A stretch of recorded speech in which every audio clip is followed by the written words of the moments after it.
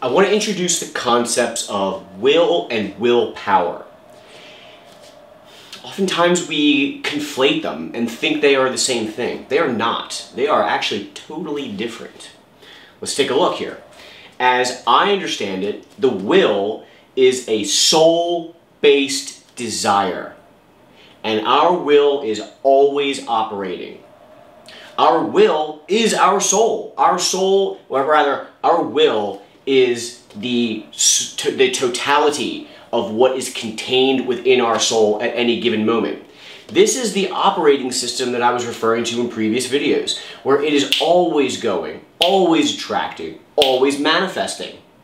Now, because we humans in our current state are full of error, or for my Christian friends out there, sin, then we are always attracting what we perceive to be negative events in order to get us to feel out our emotions. However, rather than rather than being humble and feeling all that stuff out, we try to use our willpower. Well, really we have a variety of techniques to avoid feeling our emotions, but willpower is an important one. Let's take a look at what I feel willpower is. Willpower is a spirit body based mechanism to temporarily override the will. Will, willpower. Willpower seems and feels like bigger or more effective, right? But you're actually using your own energy to override what your soul is naturally putting out. Imagine if I were. Imagine if my skin were blue. And. But I lived in a world full of green people. Well, if every day I woke up and painted my skin green so I could fit in with the green people, I'm using my willpower to override my will. Because if I have blue skin, it's because something in my soul is dictating that's the case.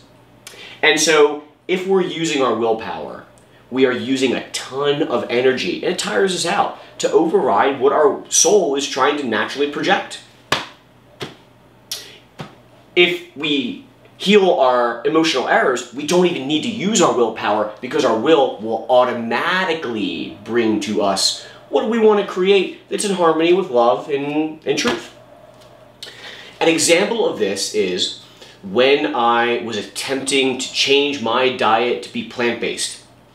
I grew up eating meat with at every single meal. So three times a day, I'm eating meat, okay? And then as I uh, reached some maturity, what some people call adulthood, I don't really call it that, that I started um, attracting a lot of people in my life who were vegetarian and vegan. I'm paying attention to my law of attraction. I noticed that like, hey, you know what? My soul is bringing these people into my life and they're showing me like, you know, my particular situation, hey, these are some pretty cool people. They're fun to hang out with. They're in shape. They seem to be having a good time. They're super chill to hang out with. They know a lot of stuff and they're, you know, they're willing to create what they want. And I thought, hey, that's pretty cool. Like maybe there's something to like their lifestyle or what they're doing, right? So I did a little experiment where I attempted to be vegan, sorry, to be vegetarian for a week.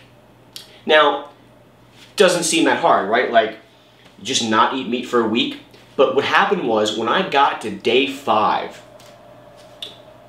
I was laying in bed at 10.30 at night and I felt intense, ravenous cravings for animal flesh so intense it felt like someone was rich, re reaching into my stomach and ripping it out. I got out of bed, I went in my kitchen, and I fried up 20 chicken wings and ate them.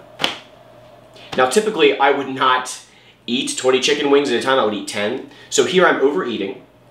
I'm eating at nighttime, which is objectively not good for you. And I'm doing something that I'm telling myself I don't want to do. I'm using my willpower. And all I was doing when I was using my willpower was pushing down my cravings for animal flesh. I thought, erroneously, that by using my willpower to force myself to change my views, that that would work. I changed my behavior, I forced myself to change my behavior, and it's just changed. The truth is that's not how it works. You need to have emotional experiences to change the vibratory state of your soul. So in my personal case, I was sun gazing, and I'll talk more about sun gazing in other videos. But when I got to four minutes of sun gazing, I started crying uncontrollably.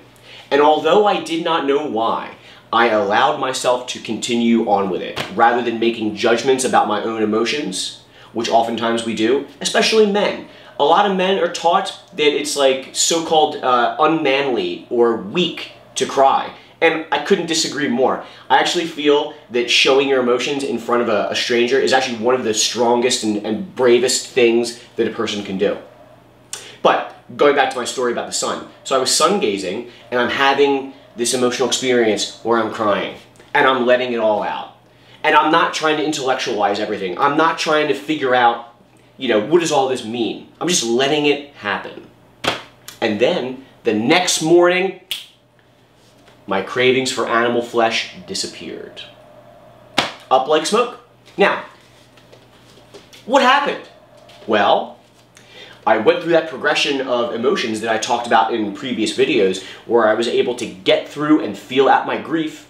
And then once I felt out my grief, actually joy came into my heart because I felt the Creator's love and knew the truth on this particular subject. And now I no longer need to use my willpower to override cravings and appetites for animal products because I have changed the vibratory state of my soul. And now it's something that I don't waste energy on. And that is an example of how you can change your soul's construction and not engage with the willpower. Recognize when you want to do something or you're forcing yourself to do something, you're actually going against your own soul's vibration. And of course, the way you change your soul is by feeling your emotions. Okay, I'll say it one more time. Our will is soul is a soul-based mechanism that is always in operation. The willpower is a spirit body mechanism that we use to change what we are attracting via our will. We are attempting to use power to override our will. I encourage each person to attempt to notice this in themselves and see because if you're attempting or if you're engaging in what you feel is non-loving behavior, it's far better to admit that you've got a craving and desire for a specific thing rather than lie to yourself and use your willpower to try to override it. The whole name of the game is getting rid of your suppressed emotions, feeling through them, not suppressing your emotions even more.